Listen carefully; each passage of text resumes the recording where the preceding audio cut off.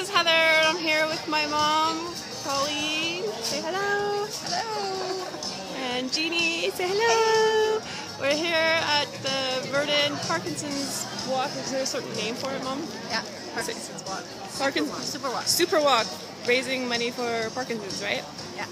So uh, we're here to support my mom. and here with the kids. Say hi, girls. Hello. They've got their shirts on, and they're raising. How much did you raise, Mom? Um, 2,800. Twenty-eight hundred. Awesome. And Jeannie? 2570 and rising. Woohoo! so awesome, awesome event here. There's tons of people here for support of Parkinson's, and we can't do the walk because we have to go to gymnastics. But really cool uh, event that they're having for uh, supporting Parkinson's. So, yay! Say yay! Yay! hey, so there you have it. I'm at uh, the Polson Park in our local town here, Vernon, BC, supporting my mom with her Parkinson's walk.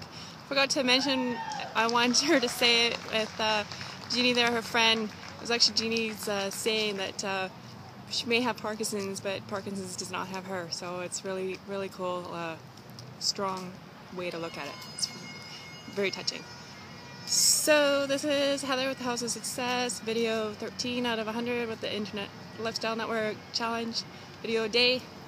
We'll see you online. Cheers.